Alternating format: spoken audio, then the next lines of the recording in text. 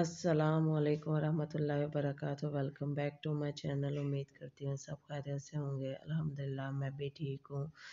आज एक नई सुबह एक नई दिन से आगाज़ करते हैं। मेरी यूट्यूब फैमिली जहाँ जहाँ ला उन पर अपना ख़ास करम, ख़ास फजा ख़ास रहमत करें।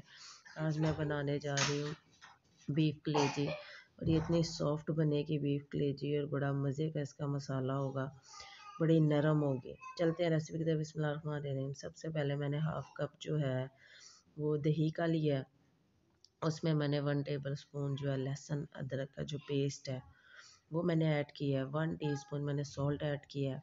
वन टीस्पून मैंने रेड चिली पाउडर ऐड किया है। वन टीस्पून मैंने कुटा हुआ धनिया ऐड किया है। वन टीस्पून मैंने इसमें ब्लैक पेपर ऐड किया है। हाफ़ टी स्पून मैंने इसमें हल्दी ऐड किया है। सिंपल घर के मसाले हैं। और वन टीस्पून ही मैंने इसमें कुटी हुई लाल मिर्च ऐड की है। सफ़ेद साबुत ज़ीरा था, ये भी हाफ़ टी स्पून मैंने इसमें ऐड किया चाट मसाला था, हाफ़ टी स्पून ये इसके सिंपल मसाले हैं। इसको हमने मैरिनेट करके एक से दो घंटे छोड़ देना है हमने। और कलेजी साफ़ करने का, वॉश करने का आसान है इसकी स्मेल। क्या इसमें सिरका के पानी में और लहसुन के पेस्ट में इसको आपने छोड़ देना है। दस से पंद्रह मिनट और उसके बाद उसको वॉश करना है तो ये कलेजी की जो स्मेल है वो निकल जाएगी। फिर इसमें मैंने एक कदर नींबू जो है, वो लेमन वो इसका जूस इसमें ऐड कर दिया, ताकि इसमें बड़ा अच्छा सा हमारा जो है ना कलेजी में जो है ना जूसी सी कलेजी हो हमारी और नरम सी भी हो। फिर एक मीडियम साइज़ की मैंने प्याज ली थी, उसको चॉप कर लिया था, उसको मैंने ऑयल में जो है वो मैंने थोड़ा सा सोटे कर लिया था।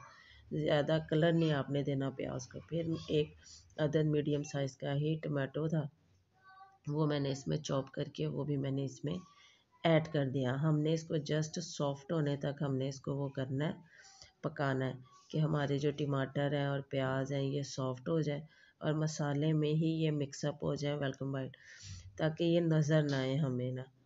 फिर जो हमने मैरिनेट की हुई थी कलेजी अगर आप इसे दो घंटे करें तो ज़्यादा अच्छा नहीं करें तो अगर आपके पास टाइम कम है तो भी आप कर सकते हैं। फिर इसमें हमने वो कलेजी को ऐड कर देना है। कलेजी हमें कम अज़ कम हमें पंद्रह दिन में एक मरतबा खानी चाहिए। हमारी आयरन की कमी को पूरा करती है। पंद्रह नहीं तो मंथ में एक मरतबा तो आप आप लोगों को ज़रूर खानी चाहिए। क्योंकि आजकल जो है हमारी बहनों में सब में आयरन की कमी है। तो इसकी डेफिशिएंसी इसमें बहुत ज़्यादा इसमें आयरन की ये है कि ये आपको खानी चाहिए। फिर इसमें मैंने तीन अदद जो है, वो ग्रीन चिली ऐड कर दी। असल खलीजी का होता है कि वो हार्ड ना हो सॉफ्ट हो। और फिर इसमें मैंने इस पॉइंट पे कसूरी मेथी भी ऐड कर दी, उसका भी बड़ा अच्छा सा फ्लेवर होगा। अगर चलते चलते आप यहाँ तक आ ही गए हैं तो प्लीज़ मेरी वीडियो को like like subscribe and share कर दीजिएगा। बेल आइकन को प्रेस करना ना भूलिएगा ताकि आने वाली मेरी हर नोटिफिकेशन आपको बर वक्त मिल सके। अपने फ्रेंड्स एंड फैमिली में भी शेयर कर दिया करें, ये फ्री ऑफ़ कॉस्ट है। फिर मैंने इसमें एक कोयले का स्मोक दिया है, क्योंकि कोयले के स्मोक की जो है ना, बड़ी अच्छी सी एक ना बारबेक्यू की स्मेल होगी। ये इसकी फाइनल लुक है। माशाल्लाह माशाल्लाह सुमा अल्हम्दुलिल्लाह, नान के साथ खाएँ चपाती के साथ। उम्मीद करते हैं मेरी ये रेसिपी पसंद आई होगी। नेक्स्ट वीडियो तक इजाज़त दें। दो हमें याद रखें। तो माजर की वॉचिंग स्टेट यूज़